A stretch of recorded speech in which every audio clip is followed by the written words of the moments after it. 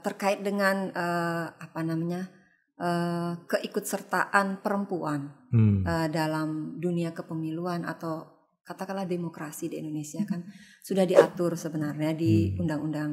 Uh, harapan uh, Tiang selaku penyelenggara perempuan di Kota Denpasar uh, mungkin dimulai dari adik-adik yang sudah berusia 17 tahun ke atas. Hmm yuk ikut organisasi itu modal dulu oh. karena ketika adik-adik mahasiswa utamanya ya ikut hmm. berorganisasi mindsetnya udah berbeda dengan orang yang tidak ikut organisasi ah. dia lebih terbuka lebih terbiasa dengan dunia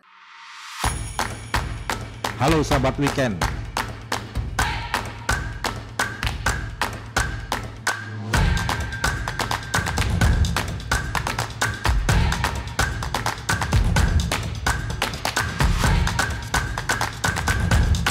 Halo sahabat weekend, ketemu lagi dengan saya Wisnu Murti. Halo sahabat weekend, ketemu lagi dengan saya Wisnu Murti. Kali ini kita akan dialog tentang peran politik perempuan dan sudah hadir bersama saya Dewayu Sekar Anggara Eni, Ketua KPU Kota Denpasar. Selamat datang Bu Sekar. Terima kasih. Nah, Pak gimana kabarnya ini? baik. Sehat ya. Uh, kemarin pelaksanaan pemilu sudah ya. selesai ya. Gih, ini tinggal lancar. mempersiapkan pilkada, ya. pilkada ya. ya. Bu Sekar, kesehariannya seperti apa sih? Uh, sekarang Niki uh, atau sebelumnya oh, sebelumnya. sebelumnya. Ah. Jadi sebelumnya uh, Tiang berlatar belakang pendidikan akuntansi. Hmm, di? Tapi uh, di Universitas Pendidikan Nasional oh. sebelumnya sempat juga di Brawijaya. Oh. Uh, kemudian uh, ketika sudah menikah, hmm. uh, karena bekerja sambil mengurus anak nih ke tidak memungkinkan bagi nah. kami, jadi Tiang memilih untuk rehat sejenak. Oh. Jadi sekira 15 tahun Tiang tidak uh, meneruskan uh, apa namanya uh, passion di dunia akuntansi atau bekerja, tetapi full memang mengurus anak-anak. Mengurus anak. Nih. Jadi mengurus sampai. anak itu juga kan pekerjaan. nih sampai oh. anak keempat sudah oh. uh, nih sampun TK.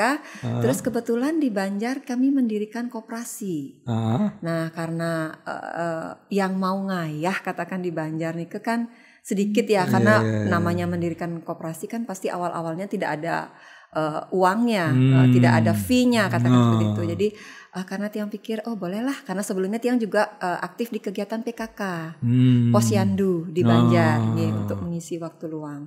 Hmm. Terus akhirnya setelah di Banjar itu mengelola koperasi, kemudian uh, ada Pilwali waktu itu uh, 2010. Hmm. Kemudian uh, dilibatkan kami uh, ah. karena bekerja di Banjar kan mengelola hmm. koperasi.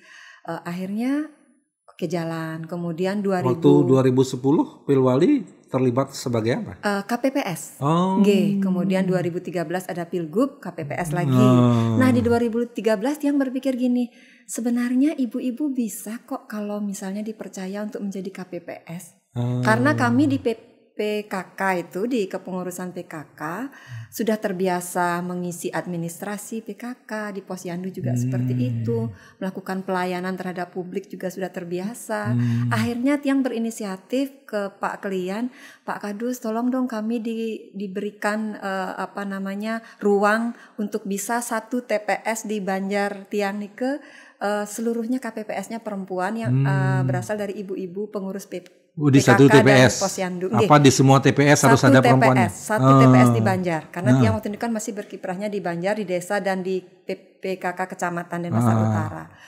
Uh, terus kebetulan Pak uh, kliennya juga menyambut dengan sangat baik. Oh ya, hmm. ya silakan. Karena tiang pikir gini, ketika ibu-ibu itu menjadi pengurus PKK itu kan nggak ada honornya. Nah. nah, kenapa sih kalau menjadi KPPS yang ada honornya kami nggak dilibatkan? Oh, gitu. Nah, itu sebenarnya awalnya sebenarnya oh. hanya ingin memperjuangkan ibu-ibu yeah, yeah, yeah. biar pernah deh ibu-ibu merasakan bekerja dan di, di, diberi honor. Di honor. Nah, karena selama ini PKK kan tidak ada honornya, nggak ya. Akhirnya ketika dipercaya 2014, hmm. uh, pileg dan pilpres ternyata ibu-ibu bisa. Bisa. Bahkan kami tuh yang perempuan lebih cepat menyelesaikan dari karena di Banjar kalau nggak salah waktu itu ada empat atau kalau sekarang sudah ada enam TPS kalau pemilu. Hmm. Ternyata ibu-ibu bisa menyelesaikan lebih cepat dan benar Jadi hmm. kita tidak ada uh, salah dalam lebih teliti lah ya. Mungkin ah. ya seperti itu. Nah itulah awalnya yang tertarik di kepemiluan. Ah. Kemudian akhirnya ikut menjadi uh, eh, PPK dan Pasar Utara. Kemudian setelah di tahun berapa itu? Tahun di 2015 ah. dan Pasar Utara. Kemudian uh, Pilwali. Hmm. Nah, ketika itu uh, ada rekrutmen di KPU Kota Denpasar 2018, hmm. Pak John yang berpesan uh, ayo ikut walaupun tiang merasa ah kayaknya nggak mungkin hmm. saya nggak punya kemampuan se ya. setinggi itu untuk bisa uh, melamar sebagai komisioner. Kemudian selain di koperasi, Tiang juga mengajar di SMK penerbangan. Oh. Uh, jadi uh, udah biasalah uh, ngomong di depan publik ya. Jadi memang ternyata mengajar itu enak, enak. Ya. Kita selalu merasa happy ya, kalau ya, bertemu anak-anak ya. gitu. Ya. Jadi itu ternyata passion saya memang di situ. Ah. Akhirnya karena ya, Pak John berpesan untuk Mama yang coba-coba aja melamar gitu. Hmm. Dan ternyata Sungkara lulus 2018. Di 2018 ah. di KPU Denpasar dan setelah dijalani oh ternyata ini ada juga mirip-miripnya dengan dunia pendidikan hmm. karena kita bertemu banyak orang, memberi hmm. uh, sosialisasi hmm. itu ya mirip-mirip sih dengan ya, uh, ya, ya, bagaimana kita berhadapan ya dengan Gih. masyarakat kan gitu ya. Seperti itu. Nah, uh, waktu di KPU 2018 Nih. itu pegang divisi apa? Uh, divisi perencanaan data dan informasi. Oh, kena akuransi ya? Nggih, mungkin seperti itu. Waktu itu ya kami kan belum oh. punya gambaran sama sekali akan seperti apa sih hmm. pekerjaannya seperti apa, divisinya seperti apa. Berarti sampai 2018 kan lima tahun ya? Nggih, 2023 nah. kemudian kemarin uh, kemarin melamar rekrutmen lagi, ya? rekrutmen lagi, hmm. melamar lagi dan uh, Astungkare di periode 2 ini uh, uh, pimpinan di KPU provinsi uh, mempercayakan atau mendorong uh, Tiang untuk maju menjadi ketua hmm. walaupun juga sama seperti di periode pertama merasa ah kayaknya nggak mungkin eh, tapi karena ini amanat pimpinan yeah. uh, iya, iya. amanat dari beberapa pihak yang uh, mendorong hmm. untuk bisa termasuk dari uh, organisasi perempuan seperti hmm. Bu Riniti yeah, dari yeah, yeah. Uh, Bali Seruti juga mendorong seperti itu Bu Widi ah. dari uh, kampus Dinas yang mantan komisioner ah. juga uh, akhirnya uh, oke okay lah saya maju menjadi atau tidak menjadi udah terserah ada yang di atas dan ternyata teman-teman kan percaya kan kita uh, uh, api pleno untuk menentukan ah. itu dan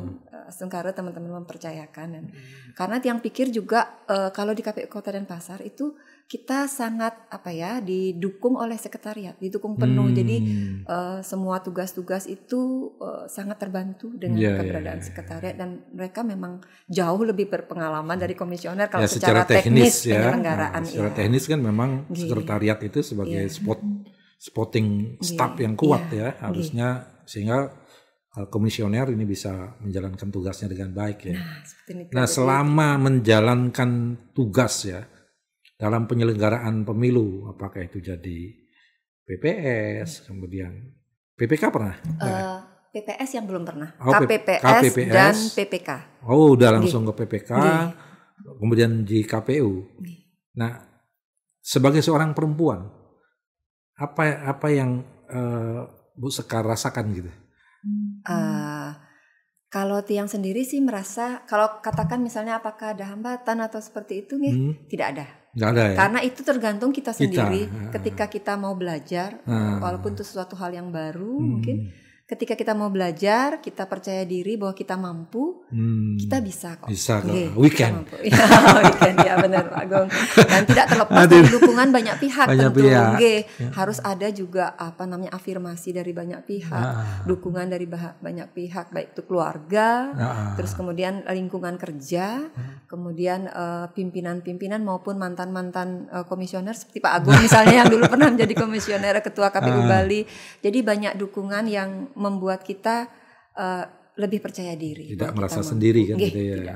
Dan pekerjaan itu sama, apakah kita hmm. bekerja sampai pagi di bidang uh, pekerjaan yang lain juga ada yang harus bekerja sampai pagi. Hmm. Uh, tidak ada masalah. Tidak ada masalah kan. Dan uh, dalam rangka mengelola stres itu gimana tuh? KPU itu kan identik dengan tekanan-tekanan pekerjaan yang begitu sangat masif ya, ya. dan luar biasa. Apalagi sekarang jadi ketua KPU. Iya. Gimana?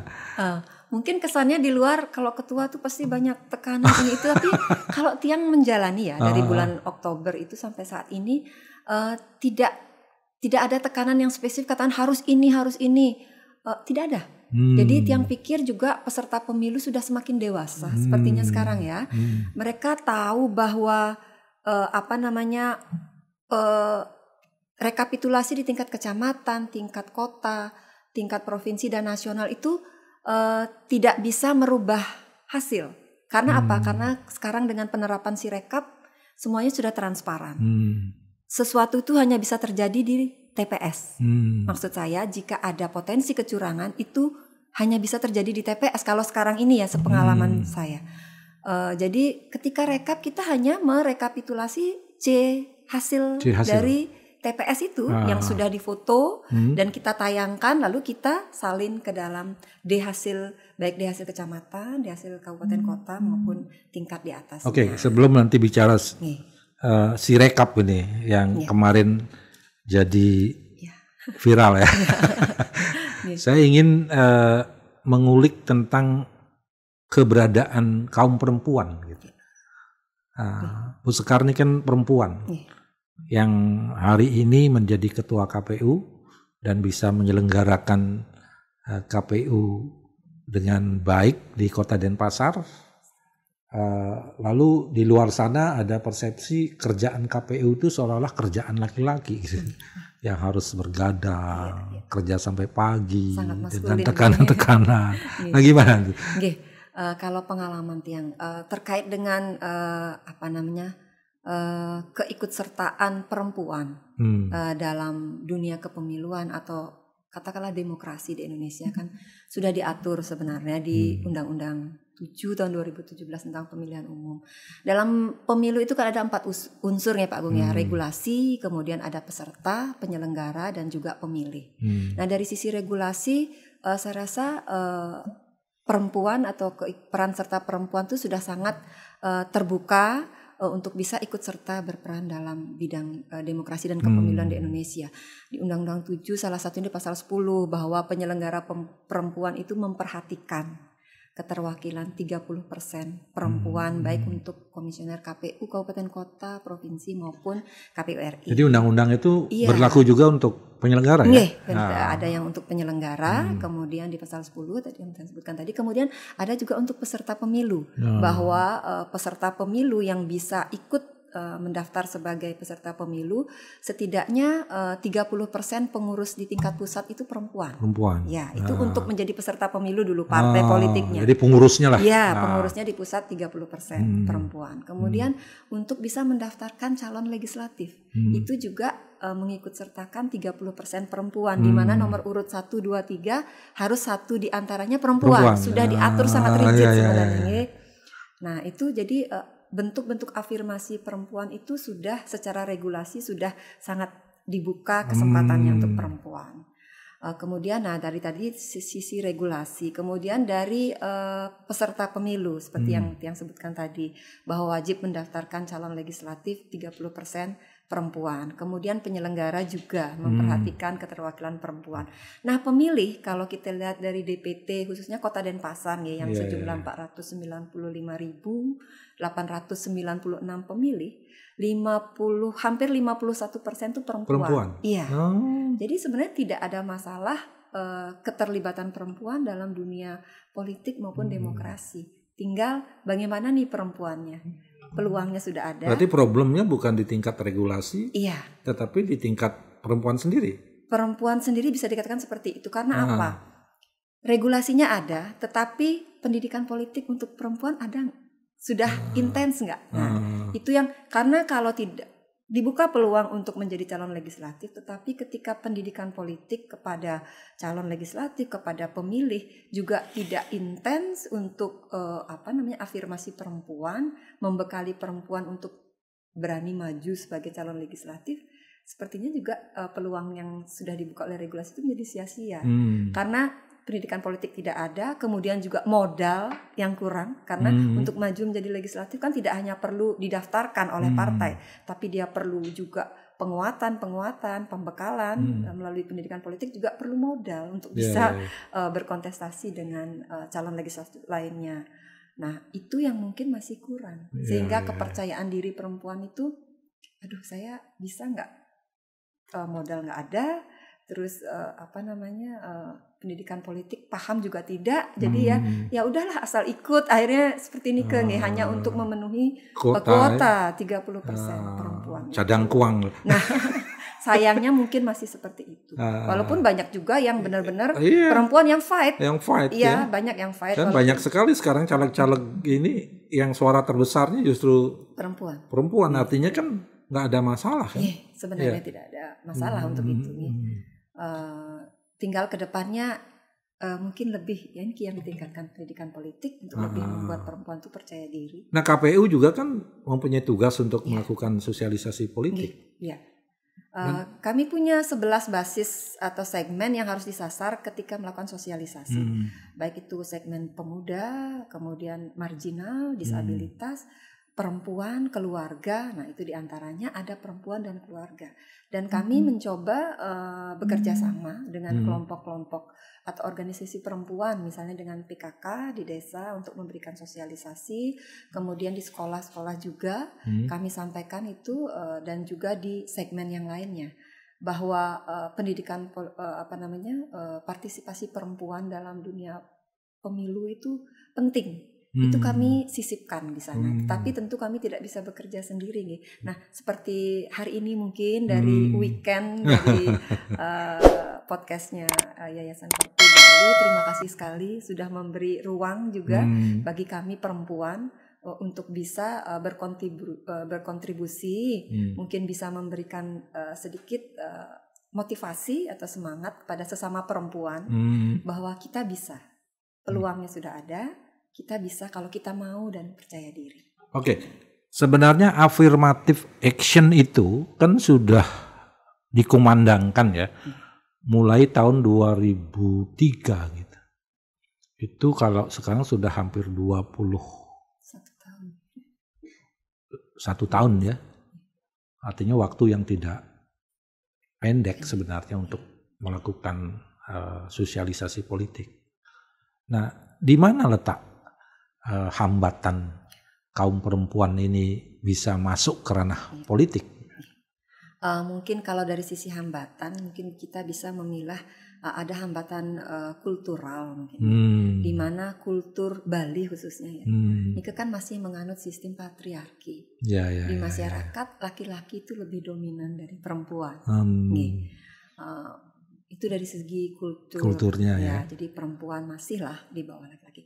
Kemudian ada hambatan struktural, misalnya hmm. dari segi pendidikan. Walaupun sekarang kalau di Kota Denpasar sendiri pendidikan untuk anak-anak perempuan dan laki-laki kan sama hmm. sekarang. Tetapi bagaimana dengan yang di desa-desa? Hmm. yang di pelosok-pelosok hmm. yang mungkin masih kota kecil di kabupaten lain selain kota Denpasar.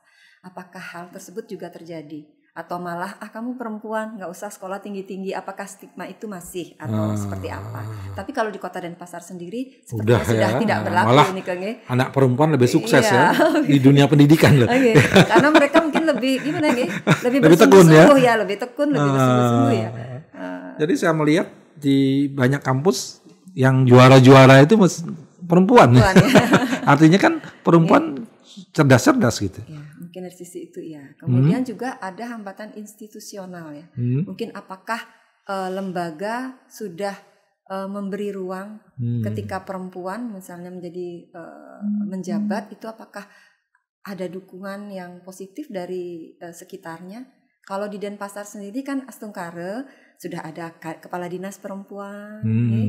Uh, misalnya Tiang sekarang di KPU Kota Denpasar juga uh, jadi ketua ya, sudah Kemudian juga uh, rektor sudah pernah hmm. uh, Udayana punya perempuan dan hmm. dekan juga ada perempuan. Banyak kan? Banyak jabatan-jabatan publik yang sudah dipegang perempuan. Hmm. Uh, kemudian yang berhasil untuk tampil mungkin orang-orang uh, yang sudah mampu mengatasi hambatan-hambatan tadi hmm. di keluarga.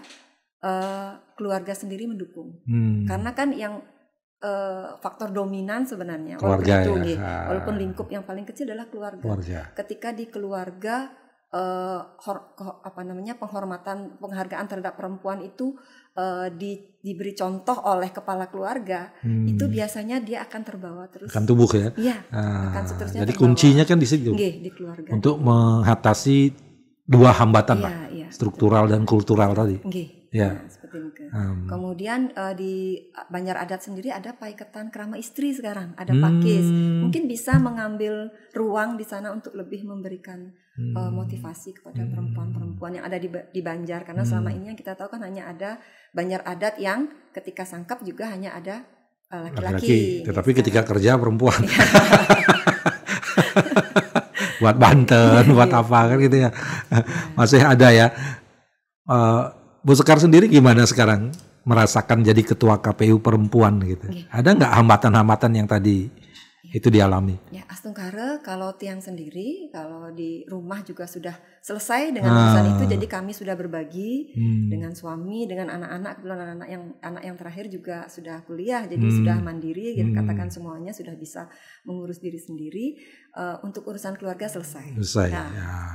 Kemudian, Dukungan keluarga ada. Eh, dukungan ah. keluarga juga luar biasa. Ah. Kalau tidak mungkin saya tidak ada di posisi ini karena kan biasanya kan uh, ketika orang dipromosikan saja, katakan misalnya ASN, hmm. ketika dia dipromosikan untuk jabatan yang tinggi, ketika keluarga tidak mendukung, dia akan sangat sulit bahkan mungkin menolak hmm. perempuan itu, itu karena mungkin suami tidak mendukung, keluarga juga belum memungkinkan dan sebagainya. Hmm. Jadi itu yang faktor utama adalah keluarga dulu. Harus clear dulu okay, sih. Ya. Gitu. Kemudian lingkungan memberi ruang seperti yang yang sampaikan hmm. tadi dari kepala dusun memberi ruang kita untuk ah. oh ternyata kita bisa loh kalau menjadi KPPS itu kan masih lingkup kecil tetapi ah. bu, uh, ruangnya dibuka oleh lingkungan. Kemudian di tingkatan yang lebih tinggi lagi, lebih tinggi lagi dan uh, ketika itu semuanya terbuka, uh, semuanya memberi dukungan, sepertinya bisa.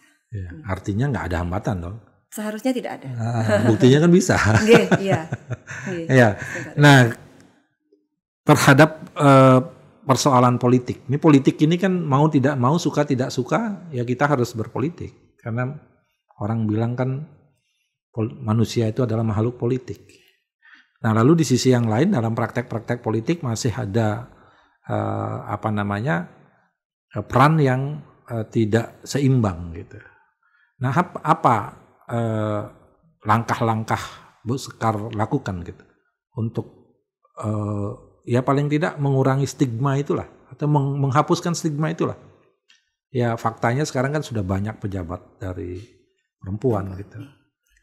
Uh, sebenarnya kalau uh, untuk berkiprah di dunia politik ya, politik itu kan sebenarnya alat untuk mencapai ah. tujuan ya sebenarnya bukan seperti kalau kita kebanyakan masyarakat berpikir nih politik itu kotor, kotor. politik itu hanya untuk laki-laki hmm. keras dan sebagainya padahal itu sebenarnya salah satu alat untuk kita mencapai tujuan hmm. dan sebenarnya perempuan harusnya mengambil peran di situ hmm. karena yang mengerti perempuan kebutuhan perempuan anak-anak dan uh, lebih luas lagi kesejahteraan itu biasanya yang lebih memikirkan adalah perempuan perempuan iya nah. jadi, jadi sebenarnya seharusnya perempuan tertantang untuk bisa berkiprah di bidang itu, hmm. di bidang politik baik melalui legislatif dan mungkin uh, jabatan-jabatan publik ya. ya.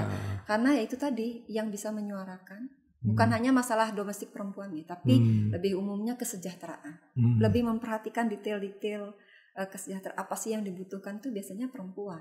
Ah. Kalau laki-laki lebih ke ya apa yang sudah ya udah gitu. Biasanya kan seperti ini kan ya Pak Gun. Iya, iya. Nah. Dan politik akan menjadi lebih soft kan? Iya. Ketika ada ya. di tangan perempuan kan? Iya, mungkin seperti ya, itu ya. Jadi nah. apa sifat halus ya. kan teliti kan ya. ini ciri-ciri perempuan ya, ya. buktinya Bu Sekar waktu jadi KPPS bisa lebih cepat, ya. lebih akurat, iya. nggak ada data yang keliru, yang salah. Hmm. Nah kemarin kan habis pemilu nih, tentu tingkat stresnya ya, yeah. ya saya yeah. pernah lah jadi ketua yeah, KPU. Yeah. gak mungkin lah kalau nggak tidak stres.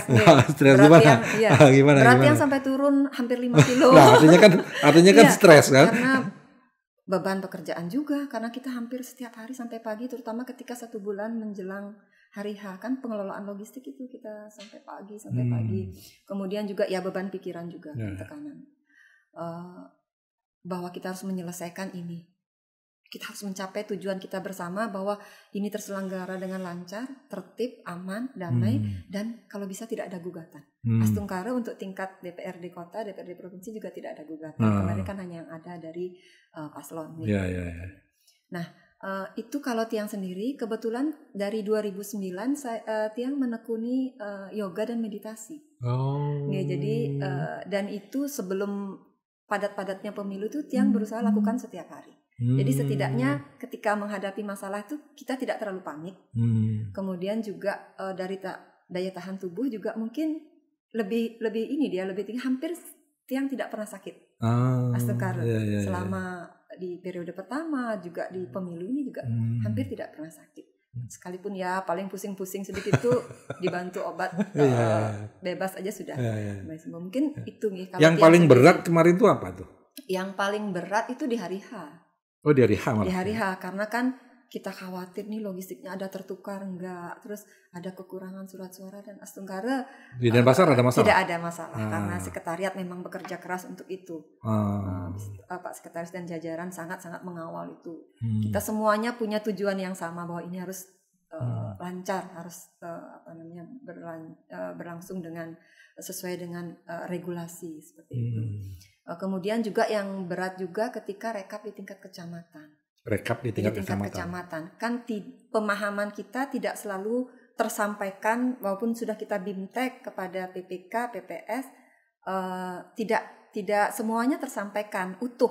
Hmm. Uh, nah, yang tadi di di hari H itu terkait dengan apakah KPPS itu mampu uh, ya, me, me, apa namanya menjalankan sesuai regulasi yang sudah disampaikan ketika hmm. bimtek kan daya tangkapnya tidak tidak semuanya sama. Berarti nah, di Kota Denpasar ngelola berapa TPS? 1887 TPS hmm. dengan 13.209 KPPS. 13 ribu. Iya. ya, lumayan dan, ya. Iya, lumayan. Tapi memang terjadi beberapa kesalahan. Tetapi hmm. Astungkara di rekap kecamatan bisa diperbaiki. Kan memang rekap di kecamatan itu memang uh, uh, uh, wadah atau tempatnya untuk memperbaiki kesalahan-kesalahan yang ada di TPS. Sepanjang tidak merubah perolehan hasil. Hmm. Uh, terjadi sempat penghitungan suara ulang karena hmm. jumlah di Denpasar pernah terjadi? ada penghitungan suara ulang bukan oh, pemungutan oh, bukan pemungutan suara ulang Astungkara uh, di pemilu ini tidak terjadi pemungutan suara ulang hanya penghitungan suara ulang di hmm. dua TPS satu di Denpasar Selatan TPS satu Renon itu karena jumlah pemil pengguna hak pilih tidak sama dengan jumlah pemilih yang hadir hmm. uh, agar tidak muncul keraguan dari peserta pemilu atau saksi yang hadir ketika rekap di kecamatan uh, akhirnya di lakukan buka kotak untuk menghitung ulang. Hmm. Dan ternyata memang selisih dua itu salah salah KPPS menghitung. Ya. Ternyata memang benar, uh, maksudnya tidak ada perolehan suaranya tidak berubah. Oh. Demikian juga di TPS 46 di Daupuri Kajil. Uh-huh. Itu KPPS-nya mungkin pemahamannya masih belum karena semuanya baru dan hmm. anak-anak muda.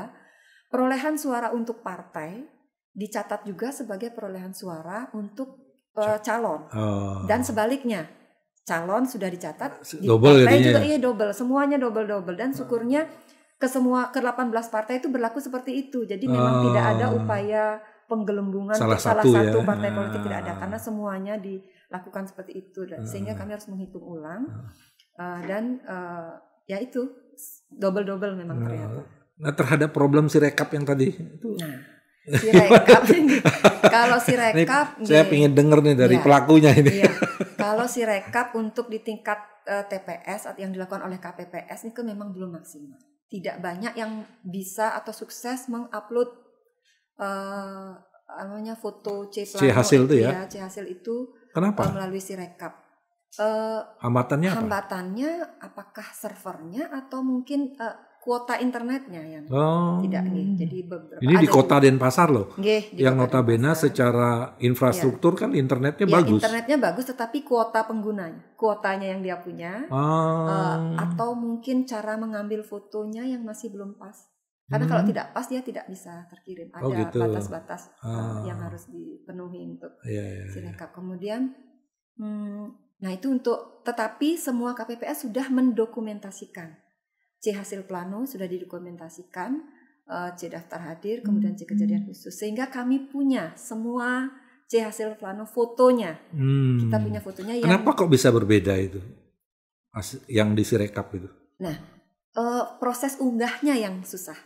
Tapi hmm. kalau mendokumentasikan mereka sudah ada satu orang lagi selain ada dua orang di masing-masing TPS dari KPPS itu yang bertugas untuk melakukan dokumentasi. Yang satu dokumentasi langsung mengunggah ke Sirekap, yang satu untuk backupnya mendokumentasikan di galeri atau di HP-nya masing-masing. Hmm. Nah, yang hasil foto yang kedua itulah yang dikirim uh, dikompilasi oleh PPS kemudian dikirimkan ke PPK dan ke kami. Sehingga hmm. kami punya uh, foto dari 1887 TPS. Oh, dokumennya ada. Ini, ada ah, itu beda dengan dokumen Sirekap. Beda.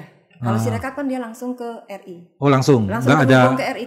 Kami di kota hanya bisa memantau lewat Sirekap web. Kalau KPPS menggunakan Sirekap mobile, hmm. kami memantaunya lewat Sirekap web. Jadi TPS mana saja yang berhasil itu kelihatan di kami. Hmm. Tetapi kami tidak bisa mencampuri atau mengubah apa pun dari sirekap hmm. web itu. Nah di PPK juga ada seperti itu. Hmm. Nah, jadi syukurnya karena ada dokumentasi C hasil plano, ketika rekap di kecamatan itu bisa ditampilkan, hmm. walaupun si rekapnya tidak uh, 100%. Hmm. Dan sempat juga diskor hmm. karena ada proses perbaikan sirekap oleh KPU RI untuk memperbaiki karena tidak sinkronnya foto sirekap dengan teks yang muncul. Misalnya di C hasil planonya perolehan suara 10 uh, 100 gitu bisa jadi di teksnya muncul 188. Kesalahan hmm. membaca sistemnya salah membaca angka yang difoto. Oh, nah, jadi sistemnya yang salah baca? Uh, ya, sempat seperti itu. Uh, Akhirnya dilakukan perbaikan. Uh, dilakukan perbaikan oleh KPRI. Sempat kami menskor pleno di kecamatan itu dua hari. Hmm. Tapi kami lanjutkan lagi dengan sirekap dan itu bisa berjalan untuk hmm. di tingkat kecamatan. Oke. Okay.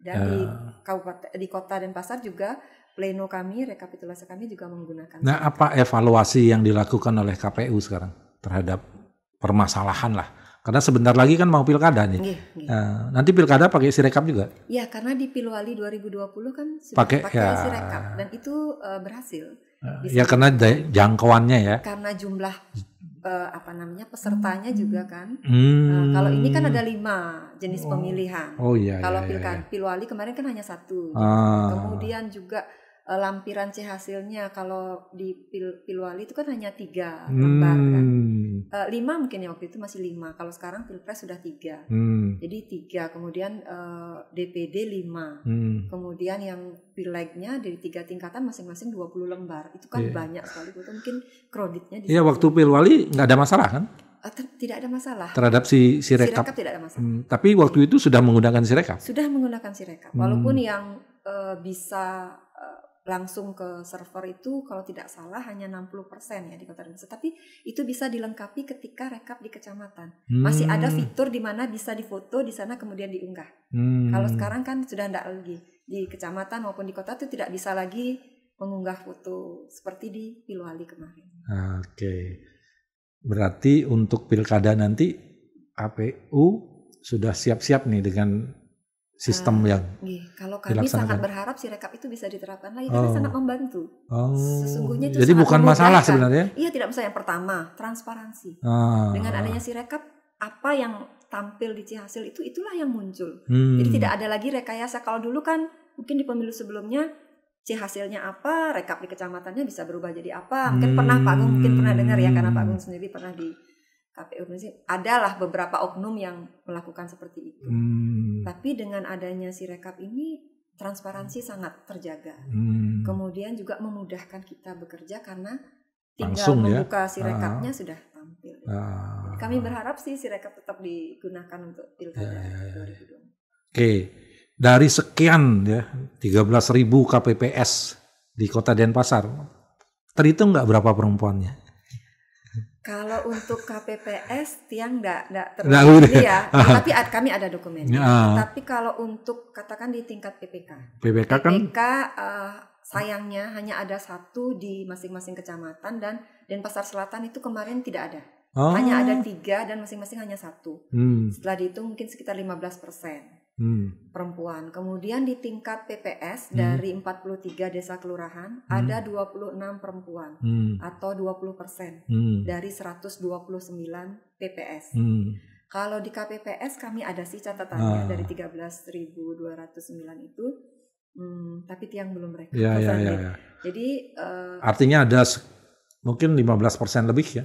Nah, kalau di tahu. tetapi setidaknya kemarin karena arahan Ketua Bali bahwa di semua kabupaten kota setidaknya ada satu TPS uh, eh, yang KPPS-nya semuanya perempuan, hmm. baik uh, bukan hanya KPPS, gastipnya juga, hmm. uh, saksi-saksi juga diminta untuk perempuan, Bawaslu, pengawas TPS-nya juga perempuan termasuk dari kepolisian Polwan juga yang menjaga itu ada. Uh, kalau tidak salah di Denpasar ada 27 TPS yang semuanya perempuan KPPS uh, uh, sedangkan yang bercampur uh, perempuan dan laki-laki itu banyak ya kenapa pertanyaan ini saya lontarkan karena saya ingin uh, Bu Sekar menyampaikan kepada para perempuan untuk mengangkat semangat Kartini ya, dalam mengelola politik.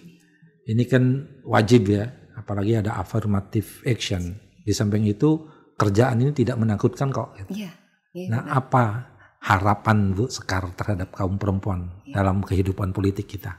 Baik itu ya di penyelenggara lah. Ya. Kalau di partai di macam-macam itu kan sudah mulai tumbuh ya. ya. Uh, harapan uh, Tiang selaku penyelenggara perempuan di Kota Denpasar uh, mungkin dimulai dari adik-adik yang sudah berusia 17 tahun ke atas. Hmm. Yuk ikut organisasi, itu modal dulu. Oh. Karena ketika adik-adik mahasiswa utamanya ya ikut hmm. berorganisasi, mindsetnya udah berbeda dengan orang yang tidak ikut organisasi. Oh. Dia lebih terbuka, lebih terbiasa dengan dunia, uh, dengan demokrasi, uh. alam demok apa namanya? Hmm, kultur lah, ya, kultur uh, demokrasi ya, dalam organisasi ya. Iya, berkegiatan hmm. itu sudah terbiasa. Jadi hmm. biasanya kalau organisasi mahasiswa kan bisa sampai pagi kan, ah, itu. Ah, ah. Jadi mereka tuh udah terbiasa. Itu dulu hmm. berorganisasi. Kemudian untuk ibu-ibu yang sudah menikah, yuk keluar rumah hmm. tidak hanya bekerja tetapi ikut di organisasi perempuan yang ada di Banjar, baik itu PKK, hmm. Posyandu, karena Posyandu kan ada balita, remaja, hmm. lansia.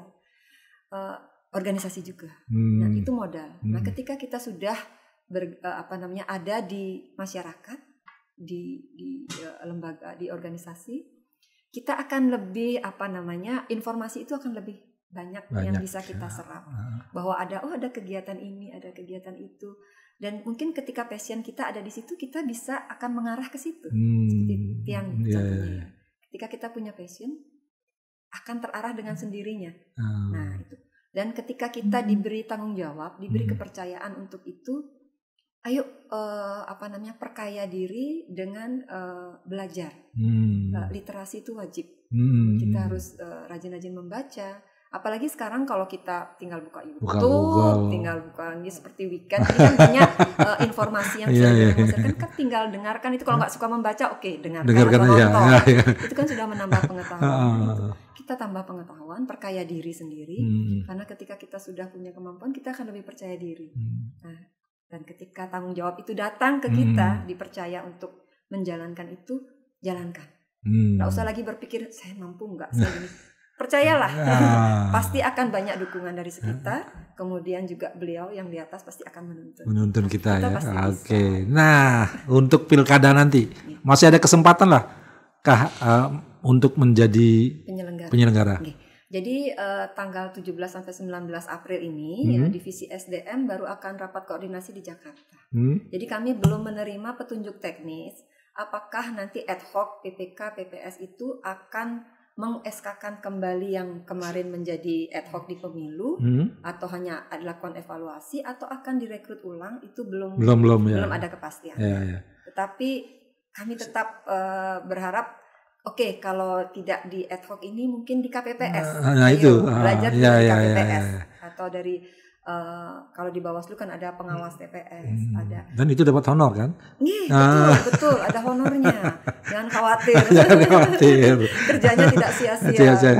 Okay. Jadi adik-adik yang sudah berusia 17 tahun ke atas, hmm. ayo uh, apa ikut terlibat sebagai penyelenggara untuk bisa menjadi pelaku sejarah. Oke. Okay. Pesan ini pil, pilkada serentak pertama. Pertama kan? Nah, iya. Ini pilkada serentak pertama iya. 2024. 2024. Kemarin kan pemilu, pemilunya Pemilu juga serentak, serentak pertama yang kedua. kan? Yang kedua yang ya? Yang pertama kan 2019. 19 ya. Iya. Tapi ini serentak pertama menggunakan sirekap hmm. pemilunya. Hmm. Pertama kali menggunakan sirekap di pemilu 2024. Hmm. Kalau 2019 kan masih menggunakan situng. Situng ya. Iya. Nah, sejarah juga. Jadi nah, jadilah pelaku-pelaku sejarah. ya, menyumbangkan sesuatu, sesuatu. untuk bangsa, untuk benar, negara. benar, benar, benar. Pesan untuk kaum perempuan. Ya. Uh, untuk perempuan-perempuan uh, di mana pun uh, uh, kalian saat ini uh, berada atau berkiprah di bidang apa pun, uh, mari kita uh, lebih meningkatkan uh, pengetahuan kita, membuka wawasan bahwa dunia kepemiluan demokrasi di Indonesia membutuhkan Anda untuk terlibat menjadi penyelenggara maupun peserta pemilu. Kesempatannya sangat terbuka luas. Uh, tinggal kita para perempuan apakah kita mau atau tidak untuk ikut berjuang untuk ikut menyumbangkan sesuatu untuk bangsa dan negara kita tercinta.